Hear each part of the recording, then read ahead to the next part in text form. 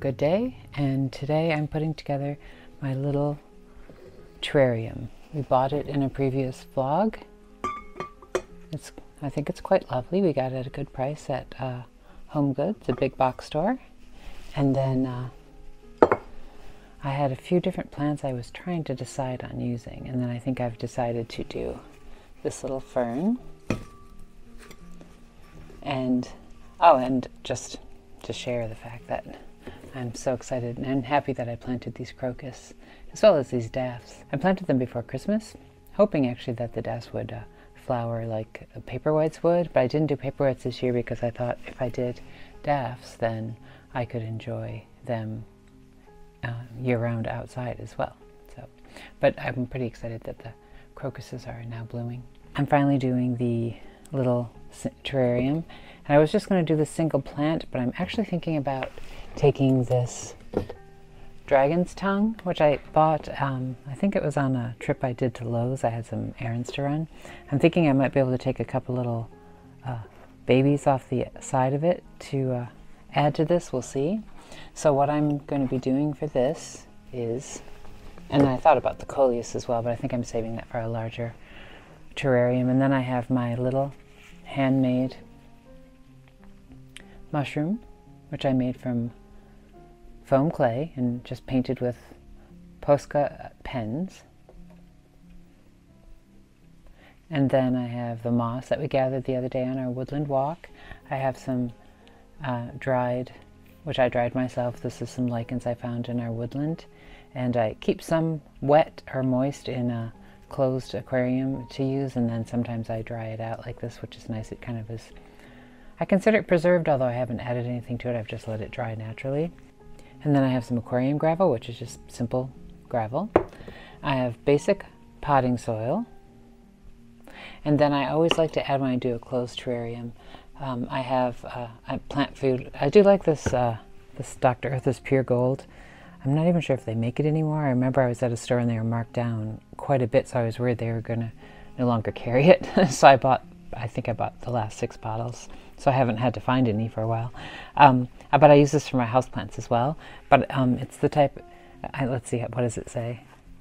Oh yes, it's um, basically you pump now, water later. So what I do is I just add a little pump to the soil before I put the, uh, the, the lid on finally, just to give it that little boost of um, nutrients because you are keeping a closed in environment um, and the goal is to keep it closed so and uh, we'll see how that works out and this is the first time I'm using my foam clay which I've just started to learn to play with uh, I put a matte uh, sealer on that so we'll see how that takes I'm hoping it won't mind the moisture so I'm going to just put a bit of, uh, and hopefully the lighting's okay. I'm sitting, rather than being in my studio or even out my plant room, which is sort of torn up right now, I'm sitting in the uh, main sitting room here.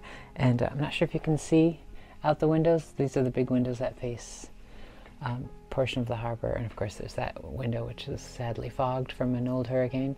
But um, the sun was out, but now you can see it sort of behind the clouds, but you can see the sparkle of the sea.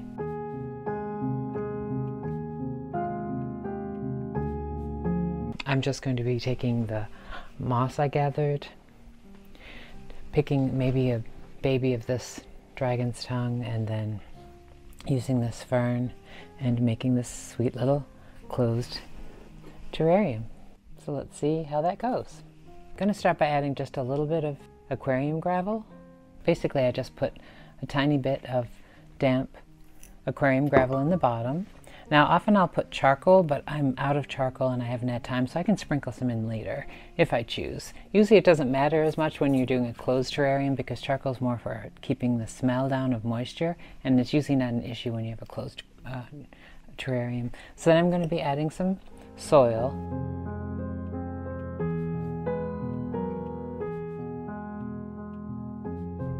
That way, that little bit of gravel, I think anyway, allows there to be enough drainage so it won't get overwatered.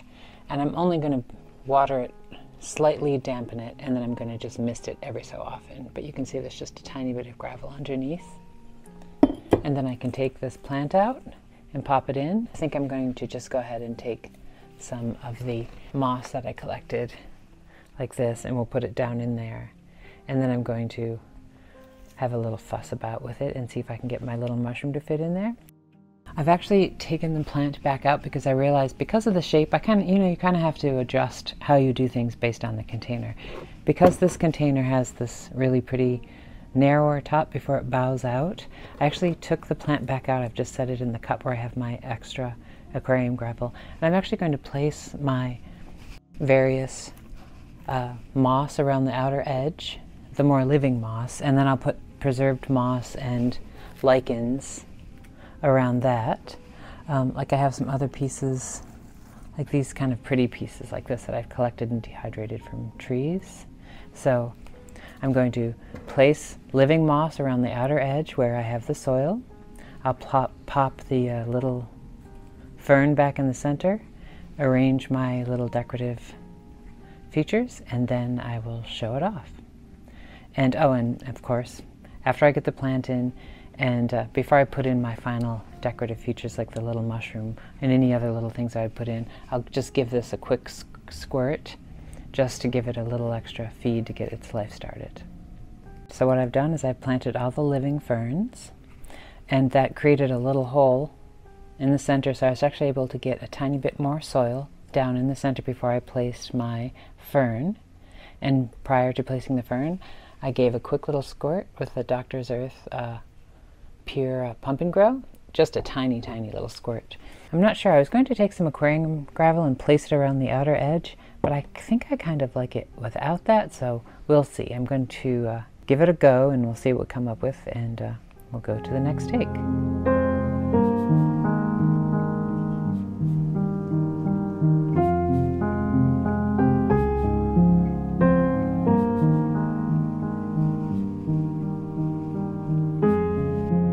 I like how this turned out. I didn't do too much. I'm glad I'm glad I've decided to just make this a single plant terrarium because I think for a container this size it's perfect.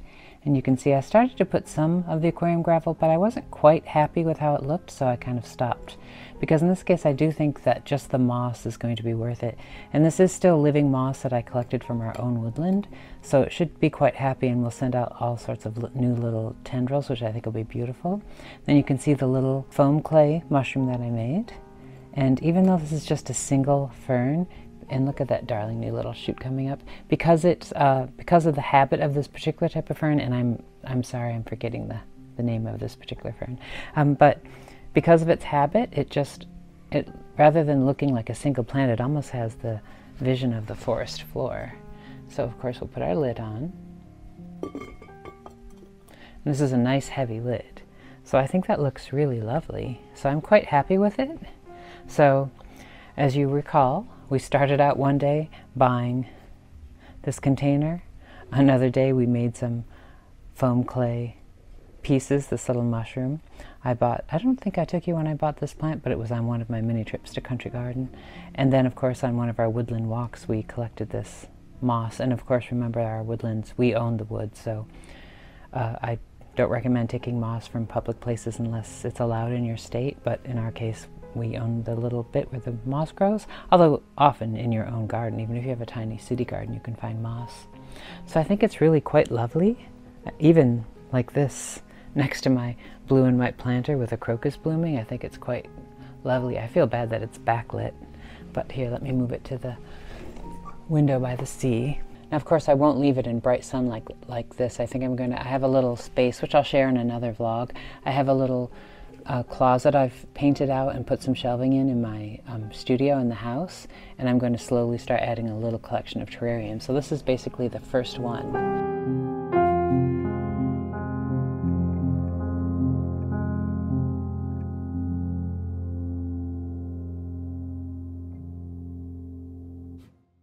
It's the next morning and we had a magical snowfall overnight, so I'm just outside quickly with the sunrise just to show you the final piece. Now, of course, I won't keep it outside, but I just wanted to share it with you with the beautiful background of the snow and the sunrise.